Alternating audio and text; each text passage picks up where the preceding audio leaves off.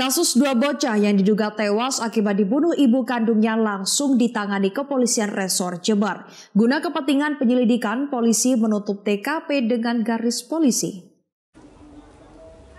Hingga Sabtu siang, rumah Agus Riyadi di Kelurahan Bintoro, Kecamatan Patrang, Jember, terus didatangi warga menyusul tewasnya tiga penghuni rumah tersebut. Tak hanya warga, sejumlah kerabat penghuni rumah juga mendatangi lokasi tempat ditemukannya jenazah Husnul serta dua anak kandungnya AV usia 7 tahun dan LA balita berusia 8 bulan. Perangkat desa juga tampak berada di lokasi untuk menggali informasi sekaligus mempersiapkan kedatangan jenazah dan proses pemakaman.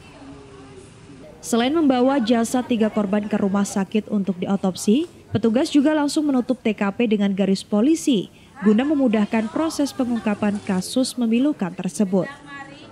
Warga menduga jika AV dan LA tewas di tangan ibu kandungnya sendiri sebab yang bersangkutan mengalami riwayat penyakit depresi.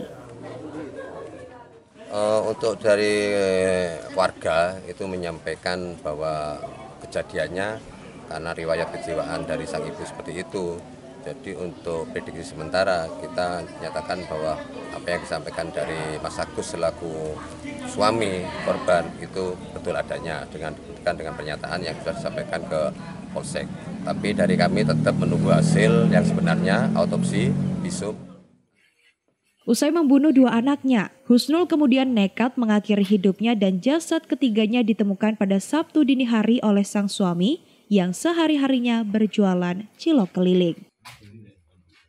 Dari Patrang, Baron El Sahafi mengabarkan untuk KJTV.